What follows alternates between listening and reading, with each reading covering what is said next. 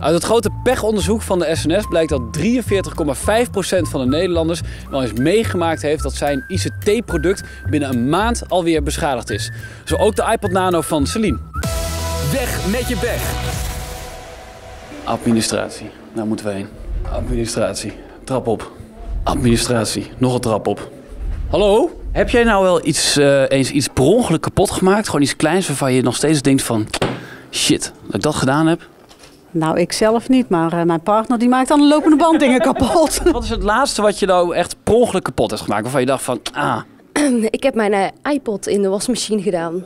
hoe, Celine, hoe? Nou, ik had die van mijn schoonmoeder gekregen en ehm, ik ben daarmee gaan sporten en mijn vriend heeft de was gedaan. Toen kwam hij eruit en ik zeg, oh nee, hij zit nog in mijn zak van mijn sportbroek. En eh, Oh. ik zeg, jij hebt de was gedaan. Ja, zegt hij, had toch zelf wel even in je zak. Die huid je, ja, precies, die huid uit je broek.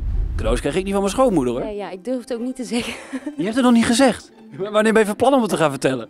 Misschien over een jaartje, dan is het wel gezakt. Oké. maar het was dus een, eh, een, een iPod, Ja, klopt. net nieuw, Net nieuw, ja. gekregen van je schoonmoeder. Ja. Q-Music neemt samen met de SNS jouw pech weg. Geweldig. En ik heb hier wat in mijn achterzak zitten. Daar Ben je klaar voor? Ja, ik ben er klaar voor. Celine, hier is die. Wow! Een nieuwe iPod Nano. Oh, geweldig, dankjewel.